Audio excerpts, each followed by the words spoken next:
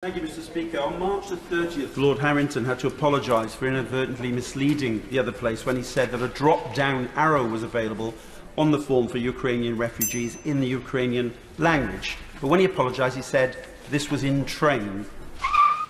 My memory is that I said that the forms are in English, but there are drop-down um, bits on the on the website that transfer matters to Ukraine to Ukrainian. If that is not the case, I do apologise to her. I certainly know that that's in train, and she's absolutely right to ask for that question.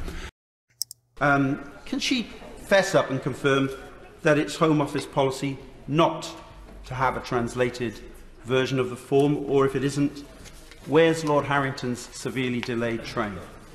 Mr Speaker, if I may, um, for officials, Home Office officials that work on this scheme, there is guidance around dealing with different languages and the way in which applications uh, and the way applications are being dealt with. But I'm very happy to pick up with him directly on this.